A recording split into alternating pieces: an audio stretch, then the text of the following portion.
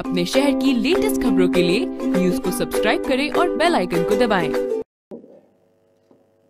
आज देश का यूथ देश का किसान, जिस मुश्किल से चल रहा है, उस मुश्किल को कहीं ना कहीं हम लोगों को ढूँढने की ज़रूरत है गुजरात के अंदर जो गुजरात का मॉडल दिखाकर प्रधानमंत्री जी ने आज देश की हालात इतनी बदतर कर रखी है कि गुजरात मॉडल ऐसा नहीं था।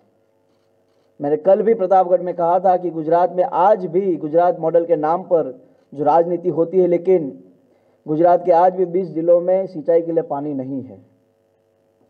आज भी गुजरात का नौजवान बेरोजगारी के तट पर खड़ा है। आज भी गुजरात का किसान आत्महत्या कर रहा है। और जो व्यक्ति प्रधानमंत्री के खिलाफ बात करता है या फिर वो विपक्ष का आदमी हो जाता है या देशद्रोही हो जाता है। तो मुझे लगता है कि इन सारी चीज़ों के खिलाफ देश की सारी प्रमुख विपक्ष पार्टियों को एकजुट होना चाहिए और इन लोगों को सामने लड़ने की ज़रूरत है।